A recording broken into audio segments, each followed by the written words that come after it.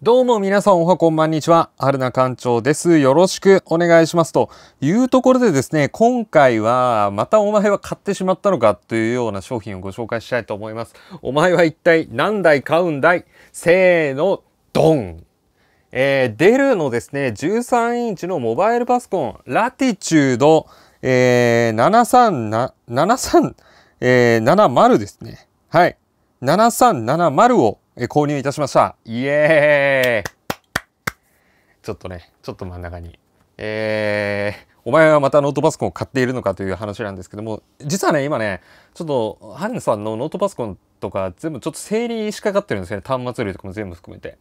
で、結構な数をね、あの整理しかかってて、えっと、まあ、その中でね、ノートパソコンとかね、結構ね、売ってるんです。あの、実はね。で、その関係で、まあちょっと新しい、新しいっていうかね、ちょっとなんか、あの入れ替えたいなと思っててまあいろんなねこう中古サイトを漁ってたらこのデルのねラティチュードが出てきてまあいいスペックじゃんっていうので手に入ったのでご紹介させていただく流れになります。えー、こいつですねスカイル X 世代の Core M7 を積んでいます。Core M7 の 6Y75 ですかね確か。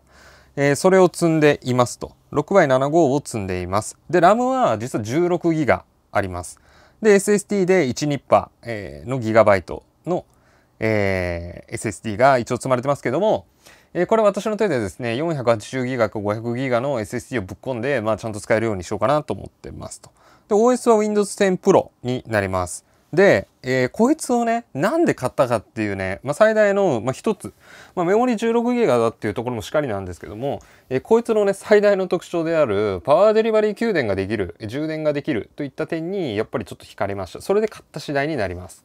で、あとね、キーボードがね、実は後で紹介するんですけど、バックライトキーボードになってるんで、まあ、そういったところもね、魅力のうちの一つかなと思って購入していますと。で、えっと、もう少しね、詳細なスペックを言っていくと、こいつ13.3インチのフル HD IPS 液晶になります。多分ね、まあ、そんな公式では言われてないけども、いろんなレビューを見る限りでは、イグゾを積まれてるんじゃないかっていう感じではありますと。で、サイズ、重さについては、えー、全部ミリメートルですけども、えー、304.8×210.5×14.32mm まあまあまあノート PC にしては、まあ、MacBook とかよりはちょっと厚めだけどそれでもね全然モバイルできるノートパソコンかなと思います。そして重さがですね 1.12kg えー、まあまあまあ本当はね 1kg 切るノートパソコンが、まあ、結構ね、えー、市場に出、ま、でもね最近ね出ないんだよね、まあ、で出てるとはいえど。なんか一時期そんなブームあったと思うんですよね1キロ以下をこう切る、えー、ノートパソコンブーム要するに16ギガ積んでゴリゴリに積んでも1キロ切ってるっていうまあ富士通系列とかにね多いんだけどまあその時代からちょっとね外れる感じなこう重さではあります。でバッテリーがですね Core M7 を積んでる関係上、まあ、10時間ぐらい持つという、えー、そういった話になります。えー、というところですね。えー、実はですねこいつのえー、一般コンシューマー向けに発売されてるもので、えー、XPS の13みたいな機種があるんですね。ほとんどあの形状が似通ってるんですけども、えー、実は XPS13 とその、ね、比べた時にそんなにね変わんないんですよね。見た目、まあ見た目が少し変わるぐらいでスペック的なものってそんな変わんないんですよ。で見た目もそんなに変わっているわけではないのであのー、そういった意味も含めれば、まあ、そんなにね、悪くないというか、あの、悪くない 悪くないところではありますね。なので、えっと、まあ、買ったということもあります。じゃあね、ちょっと外観見ていきましょう。はい、まずこちら。えー、っとですね、先ほど申した USB パワーデリバリーで給電できるポート。で、え次、これね、Type-C の充電ポートです。これサンダーボルトだったような気するんですけどね、どっちも。で、こっちにマイクロ HDMI。やっぱりこのサイズになるとね、なんかマイクロ HDMI になっちゃうっていうところですね。で、こっち。こっちね、なんか充電のね、インジケーターみたいなのがあるんですよね。これ充電とかね、いろんなインジケーターとかがあります。で、次。こっち。マイクロ SD の、あ、ちょっとね、紹介し忘れてた。ごめんなさい。でね、こっちね、LTE の SIM スロットがあります。4GLTE もできます、実は。まあ、業務用ですね、ほとんど。で、こっち、マイクロ SD のスロット、あちょっとボケてるな。マイクロ SD のスロットにイヤホンジャックに USB のえフルサイズのポート。で、これがケンジントンロックの穴ですね。といった感じになります。裏面はこんな感じですね。はい。で、スピーカー穴がね、多分こっちのグリルでありますね。2個。はい。といったところになります。で、裏はね、あの結構ね、開けやすい、こういったえプラスドライバーになってます。これプラスの一番あたりぐらいだよね、多分。サイズ的にね。多分。多分、勘でしか言ってないからね、今。っていう感じになります。はい。というところでですね、本体外観ちょっと開けていきましょうというか、開けます。さあ、いきますよ。あー、ちょっと下ろします。さあ、いきますよ。せーの、ぷわー。フルオープン。というところでね、こんな感じ。えー、キー、ちょっとね、まあ中古で買ってるんで、まあここら辺がね、ちょっと気づいてるのはありますけども、こんな感じです。はい。キーボード面はね、まあ、ちょっとテカリは中古だからあるにせよ、こんな感じ。えー、ストロークはね、かなり押しやすいです。まあただね、エンターがね、やっぱりね、このいう機種独特で、エンターがちょっとちっちゃいっていうのがありますね。はい。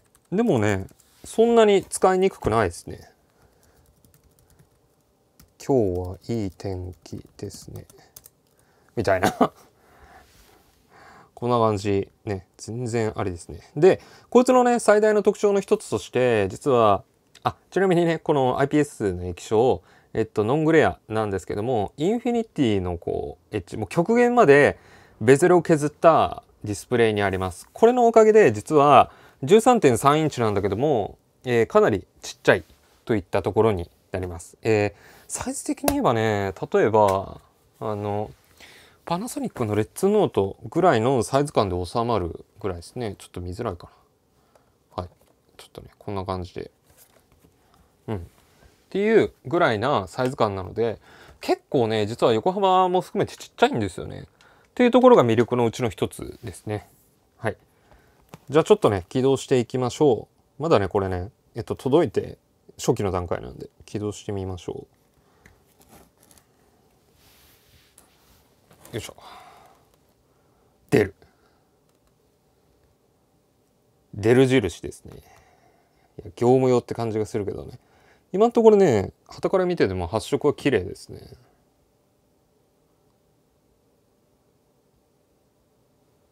はい。ユーザー起動しました。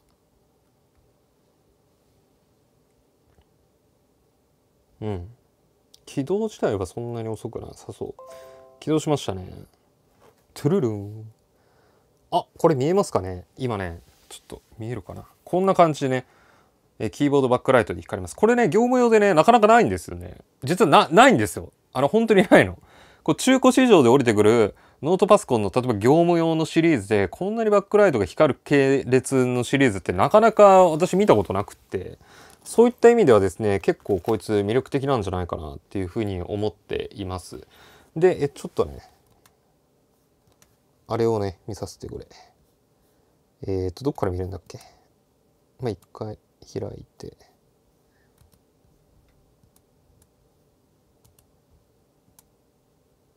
おいいですね。こんな感じで見えますかね？はい。Core M7-6i75 ですね。で16ギガ積まれています。Win10 Pro になっています。はい。といったところでですね、えーかなり極上のものを手に入れたんじゃないかなっていうふうに思ってます。でちなみにですけどもポン。これで今ねちょっと待ってね。充電をしています。でねなんかねここにねインジケーターがあるのでここもね光っています。はい。といったような流れになります。いかがでしょうか？このねノートパソコンデルラチチュードの7370、えー結構ねやっぱいいいなって思っちゃいます。本当に。なんかうん。悪くない。なんか業務感は若干拭えなくても業務感の中でもかっこいい系列に入る PC なのでいいですね。いいですねこれ。はい。めちゃめちゃいいですね。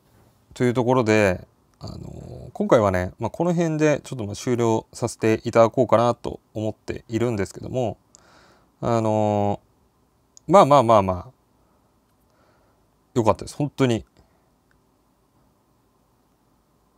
というところでまた次回の動画でお会いできればなと思っておりますので。